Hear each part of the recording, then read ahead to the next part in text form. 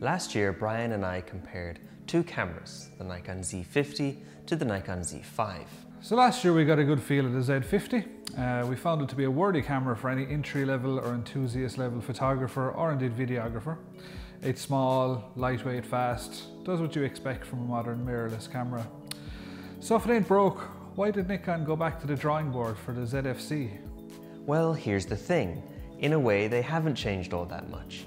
We really liked the Nikon Z50 and Nikon agreed with us.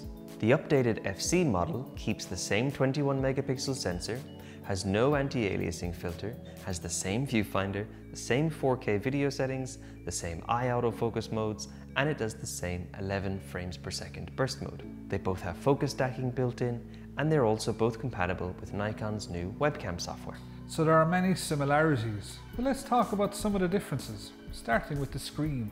So a lot of people like having a fully articulating screen as it allows you to easily frame yourself if you're vlogging or indeed for showing clients work on the job. It's a handy feature and we're glad to see Nikon finally implement it in one of their Z series cameras. So if you like the Z50 but you were holding out for an articulating screen, then possibly this is a good option for you. The Z50 also uses a micro USB However, the FC uses the updated USB-C. Unfortunately, there's no built-in flash into the FC, whereas there is a pop-up flash in the Z50.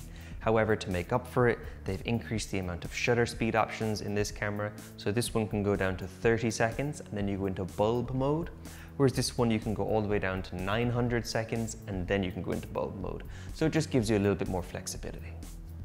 So those are some key differences and some are smaller and some are not so small depending on how you use the camera. But obviously here, the main thing is the visual aesthetic design. This is a retro style camera and that's gonna be the big selling point here. Yeah, so the really big takeaway uh, with this camera is the retro styling of it. So Nikon have kind of swapped out the typical black monochromatic leather effect cameras that nearly everyone has at this stage. Instead, they've pulled designs from the 80s. This is definitely a, a vintage inspired look, it has to be said. Uh, it really is appealing to anyone who enjoys more of a, a good aesthetic, or even if you're into camera history. For me, a camera like this with all these knobs and dials is a great way to get back into that slightly filmic experience without actually having to go to the hassle of using film.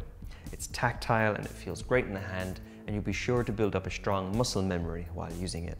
Personally, I'm a fan of camera companies taking a bit of a risk when it comes to design and I'm really glad to see Nikon trying something new. The only downside is the lack of that grip. The grip which you find in the Z50 is really chunky and helps your camera to feel secure and firm in your hand, so it's worth picking up both cameras and seeing which one is right for you. That being said, there is an additional accessory that will provide you with a grip on the side, so that's worth considering. So ultimately, unless you really need an articulating screen, uh, a grip, or maybe even the flash, uh, I don't think you'd be making a bad decision in going with either of these cameras. But if you enjoy the finer things in life and you want a funky camera to pair with your long beard and your granddad's glasses, the Nikon ZFC is definitely one to try out for size.